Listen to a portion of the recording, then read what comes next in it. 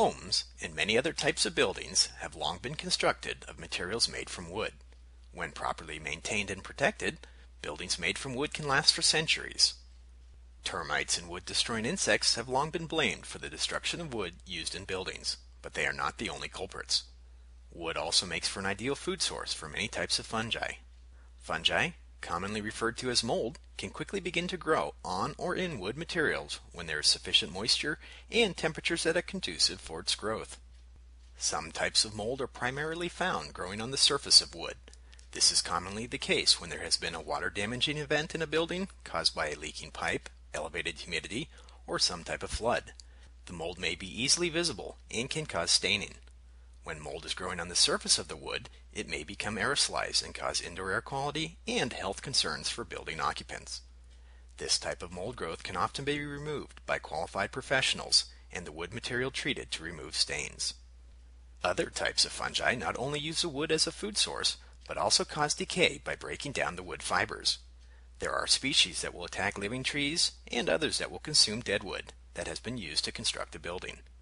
These wood decay fungi are classified based on the type of decay they cause.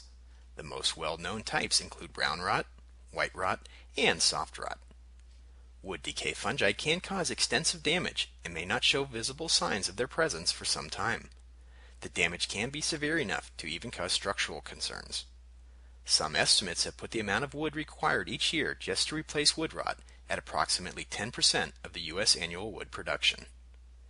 These are just a few things to know about wood decay, wood rot, and surface fungi. To learn more about this or other building science, indoor air quality, health and safety, occupational, or environmental issues, please visit the website shown on the screen.